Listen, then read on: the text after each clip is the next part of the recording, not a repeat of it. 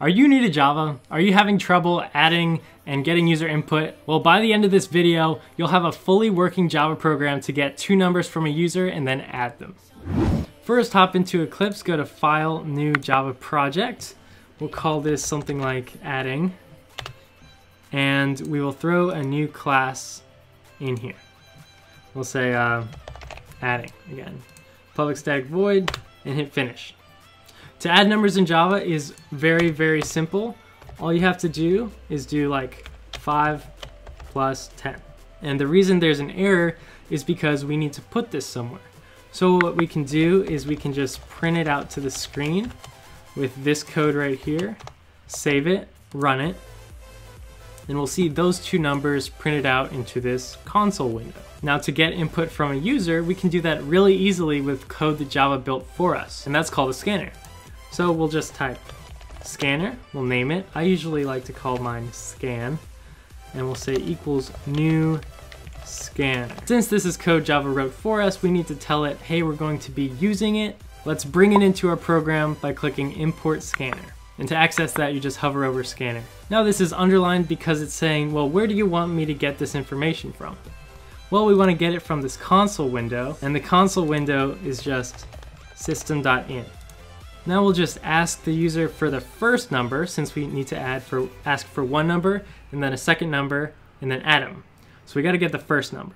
So let's let them know that they need to enter a number. And we'll save it, run it. We'll see that message to enter a number, but I can't add anything yet. And that's because we're not using the scanner yet. So just call it by typing the name of your scanner and then a dot to bring up what it can do. And can do all these things, um, but we're just gonna type next int, like this. This gets the integer that we type in. We'll store that into a variable called a, and we'll just, uh, to test this, if it's working right, we'll just print out that value. So we'll save it and run it. It says enter a number, we'll enter like eight, hit enter, and then we get that eight returned to us. So it's working. Now we just need to get this one more time and then add them. So I'm just gonna copy what we did before and we'll say enter another number and we'll name it the second number to B. And to finish it off, we'll add the two together by printing out A plus B. Save it, run it.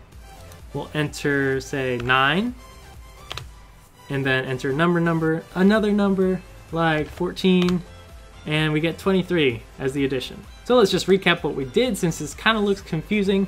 First, what we did was we're saying, hey, we want to get input from a user. Let's use this thing called a scanner, which makes it really easy. And let's throw it into our program. Let's ask the user for a number. We'll store that number into A.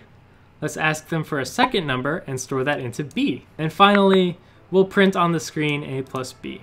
So I hope this was helpful. If it was, please smash that like button and share it if you think it might help someone you know. I wish you all the best for 2019. Thanks for all the support you've given this channel, and I'll catch you later. See ya.